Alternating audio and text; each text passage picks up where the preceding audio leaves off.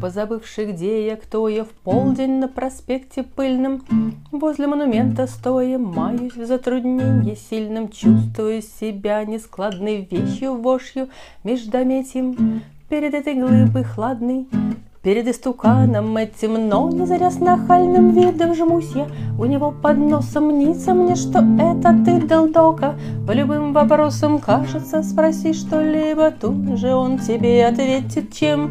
Я счастливит его свет прольет и цель наметит. Стоп, шепчу себе я хмуро Берегись надежд опасных, помни, что сия скульптура Не для разговоров частных, будь хоть сорок раз философ Смолкни, поразмыслив тонко здесь не задают вопросов.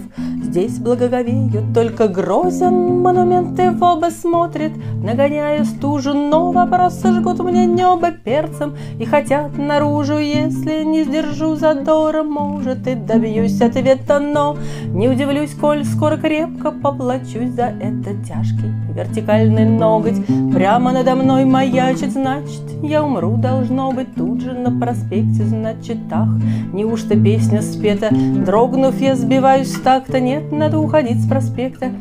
Надо поберечься как-то, боже, до чего же все же глуп И воспитан плохо с мрамором, шутить не гоже Либо.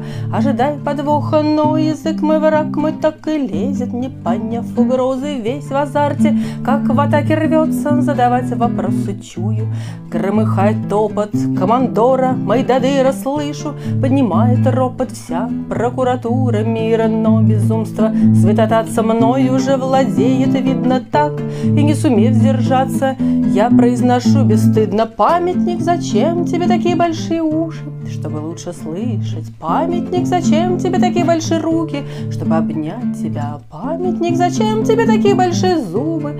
Не дает ответа.